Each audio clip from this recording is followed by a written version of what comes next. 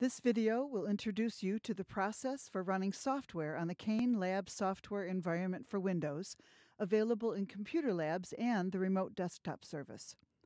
CAEN Windows computers use an on demand delivery service to run software applications called Application Jukebox.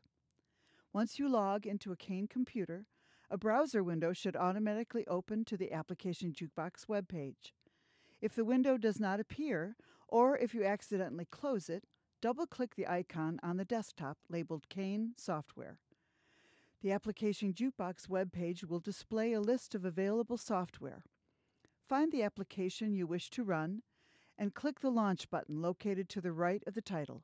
This will start the download process.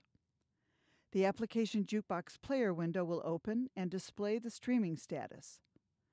After the on demand streaming process is finished, you will find the application listed under All Programs in the Windows Start menu.